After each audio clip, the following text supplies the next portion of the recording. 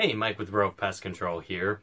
And did you know that only female mosquitoes drink blood? Well, today's video, I'm going to talk all about what do mosquitoes eat.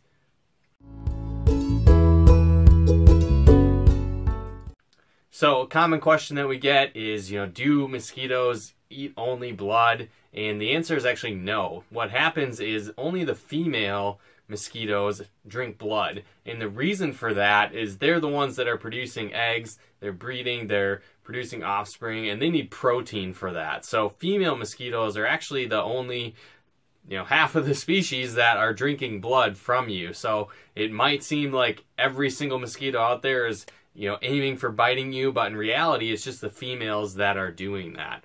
Now, female mosquitoes will feed off of all kinds of different animals. It might seem like humans are the only thing they feed off of, right? But they feed off of livestock, mammals, reptiles, birds. the list basically goes on and on, right? Anything that has blood, they're going to want to feed off of it. And so the reason though why humans seem to be an easy target or why they go after us so much, there's a lot of different factors that go into that. Some of them are things like size of prey, the speed of prey, uh, the carbon dioxide released, and location eh, as well. So one thing that humans tend to do is we actually hang out a lot near mosquito breeding grounds. We actually create areas that are great for them to breed and live. So one thing that you want to do to help prevent mosquitoes is to stay away from those areas one, but then also help eliminate those as well. So mosquitoes really like to breed and lay their eggs in stagnant water.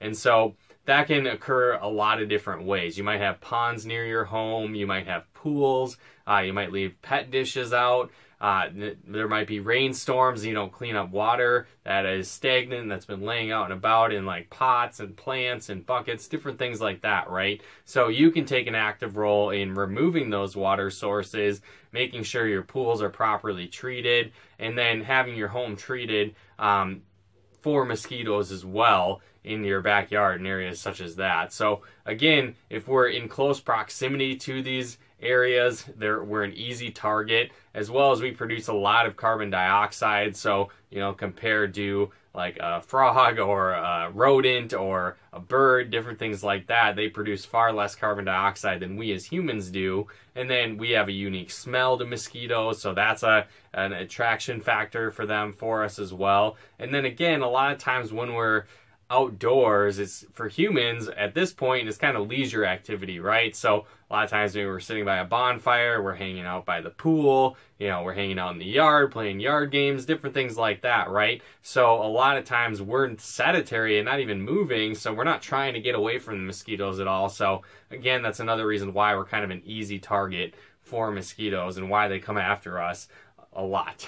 um, another thing to, to keep in mind though is again, like I said, females are really the only ones that are breeding or and therefore eating blood and needing that protein. And so mosquitoes in general, males and females, they're a lot like other insects where they basically require sugar sources as their food source. So most mosquitoes are going to feed off of nectar um, from flowers and plants and things like that, similar to like honeybees and, and other pests. And again, that's usually what the males are going to be feeding off of, but females do it as well when they're not necessarily breeding.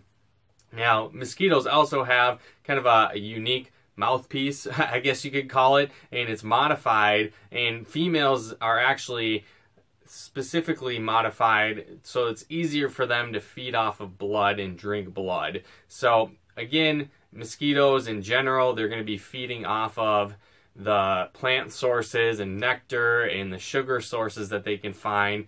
But again, if it's the females, in the case that they're also going to be breeding soon and laying eggs, they're also going to be feeding off of blood to get that protein source. It's kind of cool. They actually have two different digestive tracts or two areas kind of in their gut. One is going to be for digesting the sugar sources, and then another is going to be for digesting that blood and that protein source. So again, kind of some cool facts that you might not have known about mosquitoes that again, they're biting you. It's the females that are doing that, and the males are most likely hanging out, feeding off of flowers and nectar and things like that. So hopefully you guys got some benefit and value out of this video. If you did, feel free to comment and share. And then if you do have mosquito issues, you're looking for a mosquito treatment that can help thin out their numbers and help keep your family safe and, you know, away from getting mosquito bites all summer long, be sure to head on over to rovepestcontrol.com sign up for a mosquito treatment service with us. And if you do happen to be a first time customer with us, head on over to rovepestcontrol.com forward slash 50 off and enter your information there for $50 off your first service with us. So again, head on over to rovepestcontrol.com for all your pest control and mosquito care needs. And thanks so much for tuning in. We'll talk to you more soon.